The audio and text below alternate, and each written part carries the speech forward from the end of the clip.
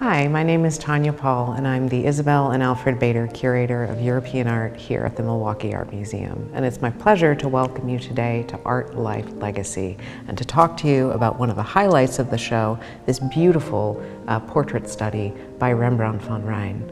It's one of three paintings by Rembrandt in the exhibition and is the only work that's, that was executed while he was living in the city of his birth, Leiden.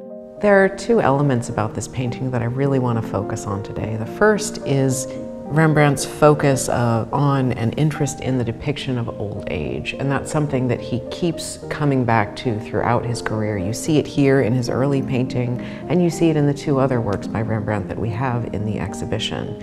The other thing that I want to talk about is his style. So when Rembrandt starts his career, he's painting in a much finer, more tight style, much more controlled, and as he evolves as an artist, his style becomes looser, more expressive, and much more complex. And what you see in this composition is this really unique combination of the two.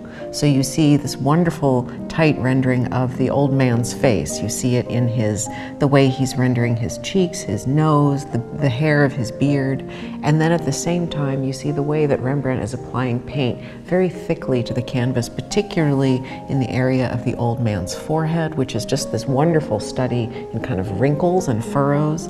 Um, there's this beautiful attention to this little forelock of hair, which is painted with this wonderful economy of means, just several brushstrokes. It's an exquisite painting and a beautiful tour de force.